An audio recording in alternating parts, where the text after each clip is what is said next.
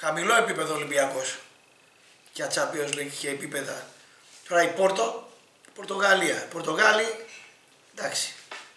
Ένα λαός, λίγα εκατομμύρια και έχουν καλύτερο ποδόσφαιρο από εμάς. Από εκεί πρέπει να ξεκινήσουμε. Να μας προβληματίσει αυτό το πράγμα. Ε, σοβαρό θέμα. Μια χώρα με κάτι μούρες καταβεβλημένες, κάτι φάτσες οι οποίες θυμίζουν δεκαετία 70 και 60 Ελλάδα. Ε, κάτι καλτ φιγούρες, κάτι αγέλαστοι. Μπράβο τους, έχουν καλύτερο ποδόσφαιρο από εμάς. Όχι άδικα. Ο Ολυμπιακός πήγε να παίξει ένα 4-3-3 με τριάδα σε τρίγωνο. Το μπουχαλάκι μπροστά από τα στόπερ, τον Εμβιλά και τον Καμαρά σαν δυο οχτάρια, χωρίς δεκάρι. Ε, το Βρουσάκι και το Μασούρα στις πλευρές αν, ανύπαρκτους και χολέμπα με ραφίνι ανύπαρκτους τέσσερις.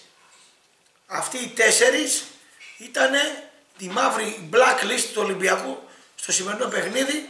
Ούτε ο Σουντανί με τον Ρατζέλοβιτ που μπήκαν αλλαγές μπορούσαν να δημιουργήσουν ούτε ένας μέναν. Κάτι σεντρούλες βγαίνανε με τον Μασούρα από τη πλάγια γραμμή, ούτε να χωθεί τίποτα και δεν είχε βέβαια, για να πούμε εδώ και του στραβού το δίκιο, του Ραφίνια και του Χολέμπας αυτό που λένε το πλάτος του μπακ. Ένα αυτό. Το άλλο είναι ότι ο Ολυμπιακός πήγε να περάσει την ώρα του με ένα 0-0 χαμηλό παιχνίδι κτλ. Έφαγε τον κόρ στην αρχή και αναγκάστηκε, αναγκάστηκε να βγει μπροστά. Τώρα, το αμυντικό του κομμάτι στα χάφ ήταν τραγελαφικό, με τον Καμαρά να συνεχίζει να είναι σε πολύ κακούς ρυθμούς, το Μπουχαλάκι, ο οποίος σήμερα έκανε τα πιο πολλά χιλιόμετρα, φαντάζομαι, στην καριέρα του στον Ολυμπιακό για να καλύψει καταστάσεις και ένα πολύ μέτριο εμβυλά. Είχε ένα κέντρο δηλαδή το οποίο ούτε κατέβαζε την μπάλα. Ο Μπουχαλάκης ε, δηλαδή και ο Σεμέδο από την πίσω γραμμή, μπαλιές μπροστά, για Βρουσάη και Μασούρα, χωρίς τη βοήθεια του Χολέμπα και του Ραφίνια, οι επιθέσεις του Ολυμπιακού με μακρινές μπαλιές. Πάρα πολύ κακό το αμυντικό τραζίσιο του Ολυμπιακού με τα τρία χαφ. Το χειρότερο που έχω δει στον Ολυμπιακό αυτό το διάστημα. Και κατά κράτος ο Οκτάβιο Μπάρο και ο Γκρουτζίκη, πώς το λένε τον τρίτο χαφ, τους κατάπιανε στο 3, στο 3, στο 3 εναντίον τριών.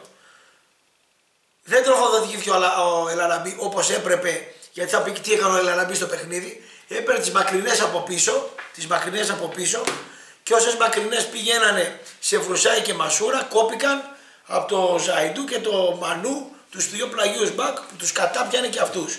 Πολύ καλή δύο πλάγιοι μπακ της, ε, της Πόρτο. Δίκαιο το αποτέλεσμα, άδικο για Φορτούνη και Μπουχαλάκη στο επιθετικό κομμάτι τους γιατί κάνανε και ο Φορτούνης έκανε καλό παιχνίδι και ο Μπουχαλάκης στο επιθετικό κομμάτι πάντα, μιλάω για το επιθετικό κομμάτι, δεν βοηθήθηκαν καθόλου από τα άκρα του Ολυμπιακού και περισσότερο από τους δύο πλάγιους μπακ οι οποίοι είναι καρκίνωμα για τον Ολυμπιακό του Μαρινάκη. Όλο το κακό ξεκινάει από αυτά τα δύο τα τα, τα, τα καρκινικά κύτταρα που λέγονται Ραφίνε και Χολέμπας.